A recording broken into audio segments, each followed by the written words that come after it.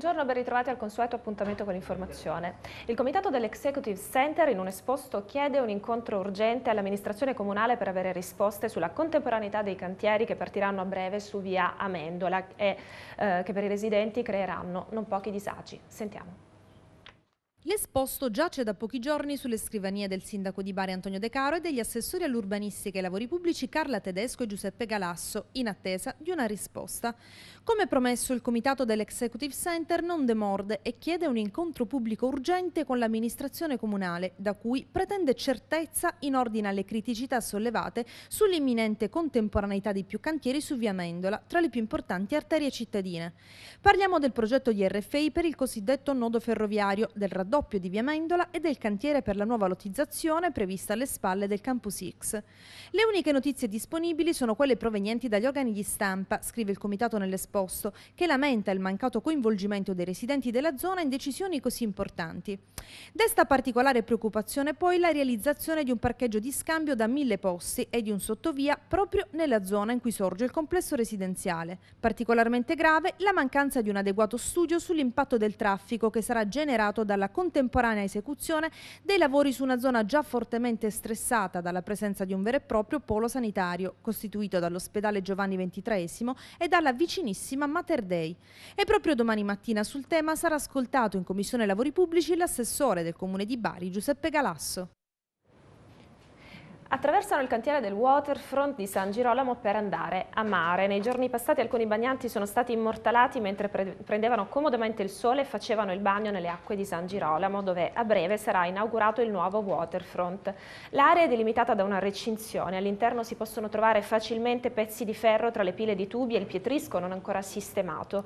Della situazione è stato informato l'assessore ai lavori pubblici Giuseppe Galasso. Secondo me la zona è più frequentata nel fine settimana, ha commentato. Per questo motivo motivo ci stiamo adoperando per aprire un tratto di spiaggia fruibile dai cittadini vicino al Lido Massimo, dove contiamo di completare il lungomare.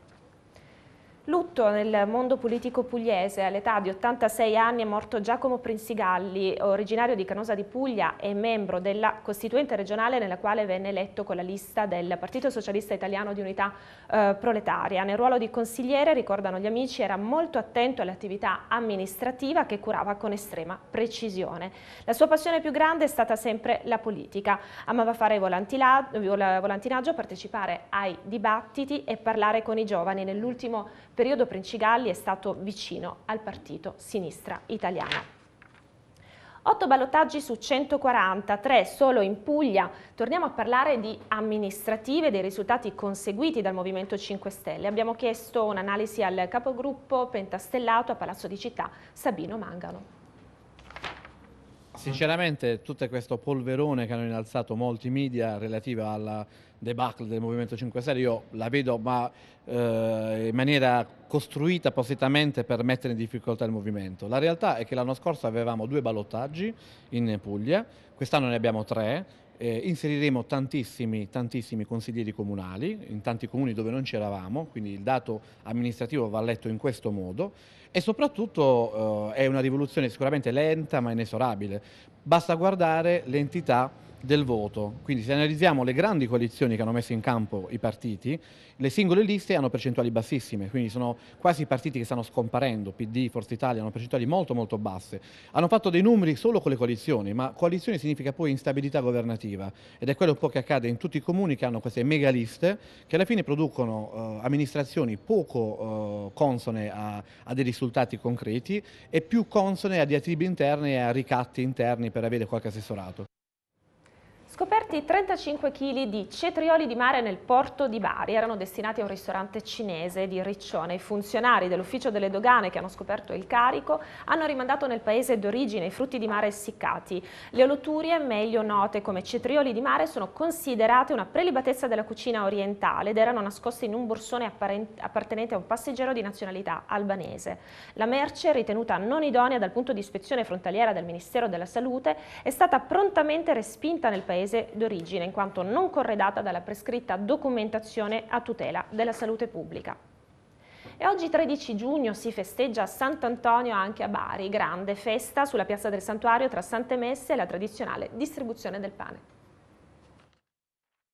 È il santo dei viaggiatori, delle cose perdute, anche dell'amore e della famiglia. Sant'Antonio è amato e venerato in tutto il mondo, dal Portogallo a Padova fino a Bari. Ieri il corteo storico che ha anticipato la festa di oggi sulla piazza del santuario è lui dedicato.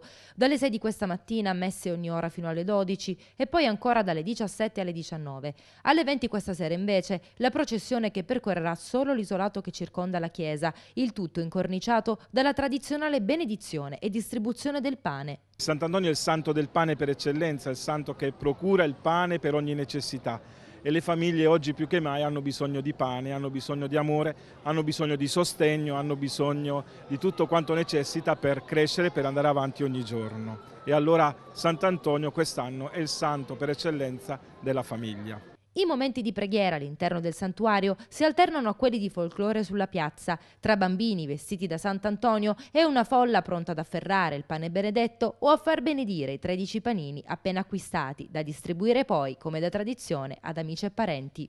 Ogni anno appuntamento fisso qui? Sì, sì, ogni anno. Facciamo già i martedì. Siamo devoti a Sant'Antonio, perché io ho vestito mio figlio tutti gli anni, della verità. Noi veniamo sempre alla chiesa Sant'Antonio, sì, devoti. Quanti anni è devota? Eh, non si capisce, è una vita. Sono 13 panini, per cui uno a qualcuno e a qualche parente in casa. La tradizione dice che si devono far benedire 13 panini? Sì, sì, come le date di Sant'Antonio. Lo facciamo benedire e poi lo, lo diamo... Lo distribuiamo. lo distribuiamo alle persone, non che ce lo teniamo noi, lo distribuiamo. Ho preso dal, da chi l'ha benedetto e l'ha distribuito. Ha preso il pane? Sì, sì, lo prendo pure per mia nuore, miei nipoti. È un, un pezzo per parte, non voglio dire. Devota San Antonio sono tanti anni, 30 anni. Questo è il primo anno che faccio il pane. Atleti, agonisti e tecnici del CONI ammessi al corso di scienze delle attività motorie e sportive dell'Università degli Studi di Bari. Dei 230 posti, 20 sono stati riservati ad atleti professionisti di elevato livello in discipline olimpiche o di interesse nazionale senza limiti di età e altri 20 a tecnici del CONI di quarto livello europeo. Per entrambe le categorie i candidati saranno ammessi in ordine di presentazione delle domande. Il mando per l'ammissione al corso di studio sarà disponibile sul sito www.uniba.it a partire dai primi di luglio. La domanda potrà essere presentata entro un mese dalla pubblicazione. Il rettore dell'Università degli Studi di Bari risponde alla protesta degli studenti sull'aumento delle tasse con proroghe sul pagamento delle ultime due rate e nuove agevolazioni per un quarto della popolazione studentesca. Sentiamo. Nuove agevolazioni e ulteriori proroghe nel pagamento delle ultime due rate è la risposta del rettore dell'Università degli Studi di Bari Antonio Felice Uricchio alla protesta degli studenti contro il rincaro delle tasse.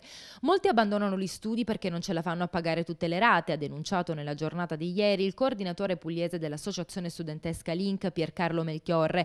Abbiamo incontrato il rettore e ci ha assicurato che convocherà a breve un tavolo tecnico insieme a studenti, regione e comune. E l'appello alle istituzioni arriva anche dal Consiglio di amministrazione dell'Università Università che qualche giorno fa ha approvato il nuovo regolamento sulla contribuzione studentesca per l'anno 2017-2018.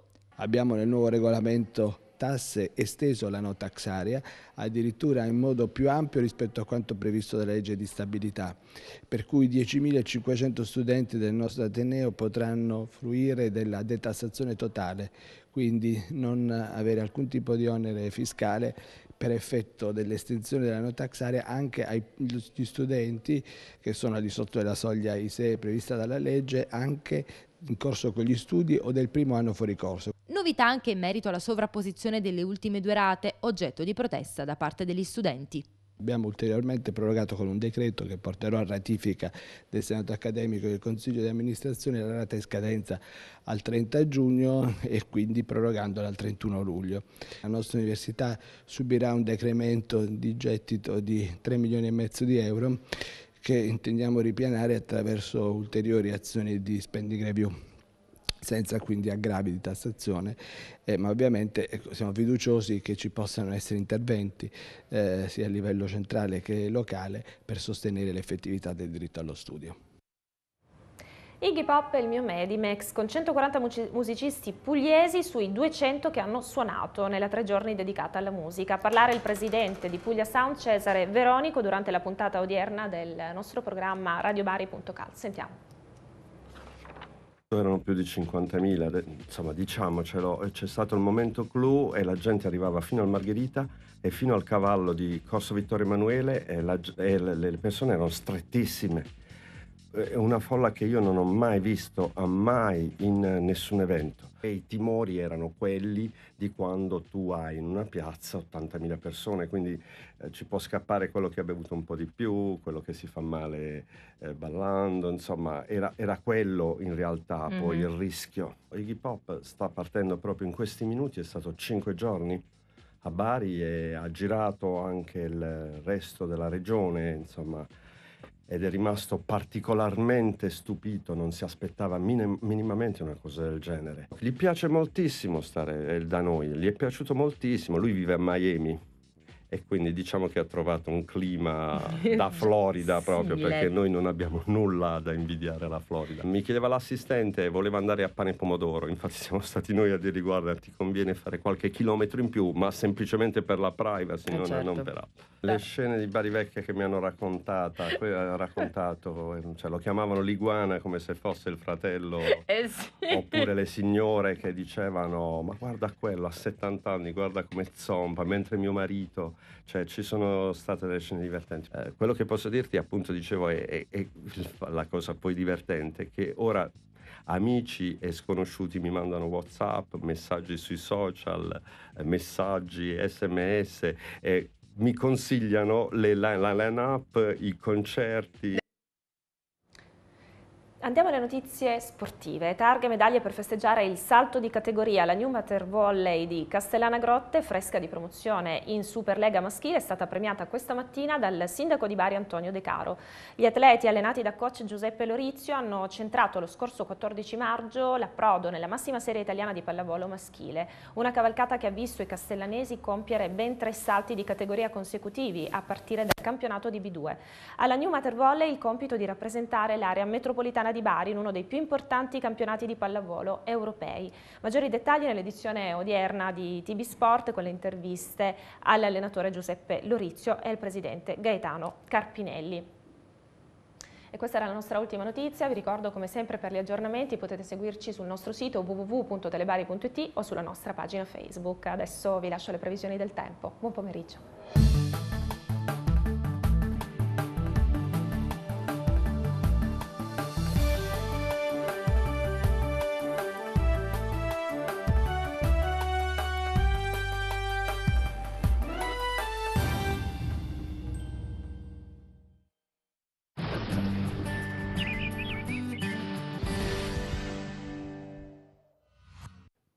Cordiale saluto da Alex Guarini di Trebi Meteo. Ci aspetta un mercoledì ancora all'insegna dell'alta pressione su buona parte d'Italia, anticiclone che darà luogo a stabilità e bel tempo quasi ovunque, salvo qualche temporale pomeridiano sui settori alpini ed a tratti sui versanti settentrionali appenninici. Diamo uno sguardo anche al dettaglio relativo alla nuvolosità, con questi addensamenti che transiteranno tra mattino e pomeriggio sulle nostre regioni settentrionali, saranno a prevalente carattere stratiforme su coste e pianure, quindi di scarsa consistenza presenza un po' più intense invece al pomeriggio sulle Alpi dove a tratti saranno presenti anche dei temporali. Bello e soleggiato altrove, lo vediamo anche nel dettaglio relativo a tutta la nostra penisola con un cielo in gran parte sereno poco nuvoloso da nord a sud, salvo questi acquazzoni pomeridiani di cui parlavo poc'anzi, farà ancora piuttosto caldo soprattutto su Valpadana e zone interne del centro-sud con punte massime diffusamente superiori ai 30 gradi. Caldo e contesto generalmente afoso in prossimità dei grossi centri urbani e il litorali.